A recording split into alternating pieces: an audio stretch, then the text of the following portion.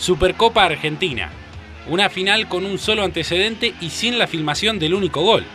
¿Por qué no se encontró la grabación del tiro libre del Chapa Suñé? El partido fue televisado en directo por Canal 7, sin el despliegue ni la calidad de una transmisión actual. Pero el gol se observó con nitidez. Lo hizo Rubén José Suñé, de tiro libre, a los 27 minutos del segundo tiempo. Gracias a ese pelotazo entró por el ángulo izquierdo de un pato filiol que todavía acomodaba la barrera, Boca venció 1 a 0 a River en la única final mano a mano de la historia disputada hasta ahora. El gol, único de tiro libre que metió Suñé en una carrera que empezó en 1967 y terminó en 1981, es inolvidable pero invisible. No aparece, nadie lo encuentra, está extraviado o destruido. ¿Cómo se entiende que haya registro del centenario 1910, del primer mundial 1930, de los funerales de Vita en el 52, del Cordobazo en el 69 y no ese gol?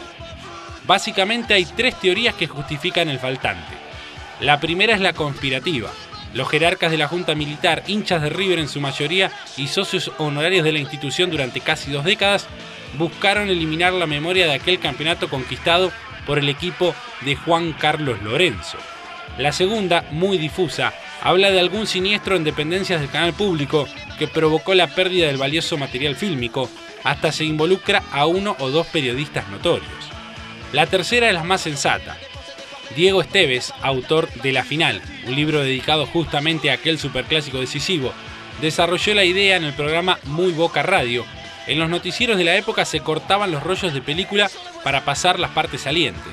Esto explica que algunas jugadas, como un gol anulado de Juanchi Taberna o escenas de la Vuelta Olímpica, estén disponibles y no así el gol de Suñé o una gran atajada del Loco Gatti a JJ López.